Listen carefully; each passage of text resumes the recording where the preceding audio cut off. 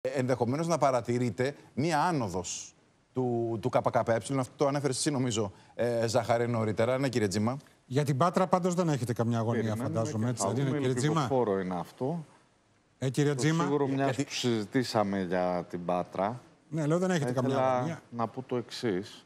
Τα μεγάλα ποσοστά του Κώστα του Πελετίδη και της λαϊκής Σπύρωσης στην Πάτρα, μάλιστα μετά από δύο θητείες, ε, δείχνει ακριβώς αυτό. Ότι μπορεί σε αυτό το ασφικτικό πλαίσιο στο οποίο λειτουργεί πια η τοπική και η περιφερειακή διοίκηση, μπορούν σε συνθήκες, ε, ας το πούμε έτσι όπως το λέμε καμιά φορά με ένα σύνθημα μαχητικής αντιπολίτευσης, και από θέσει τη διοίκησης να εκφραστούν πολιτικές ανακούφισει των εργαζόμενων λαϊκών στρωμάτων.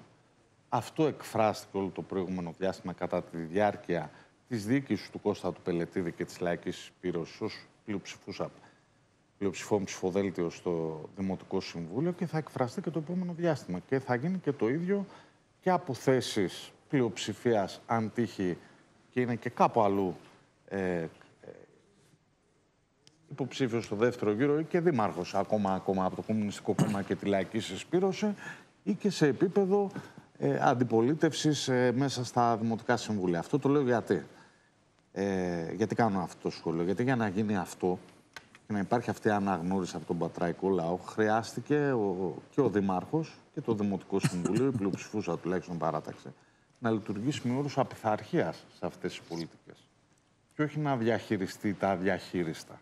Γιατί πλέον το πλαίσιο είναι ασφικτικό και σε οικονομικό επίπεδο και σε πολιτικό επίπεδο και με αυτή την έννοια είναι μια πολιτική στάση το γεγονός ότι απέναντι σε αυτό τον ας το πούμε έτσι οριμαγδό αντιλαϊκών κατευθύνσεων που υπάρχουν πια στις τοπικές και τις περιφερειακές εκλογές και στην Πάτρα αλλά και αλλού αν χρειαστεί αυτό ε, υπάρχει δυνατότητα και μπορεί να εκφραστεί και στην πράξη.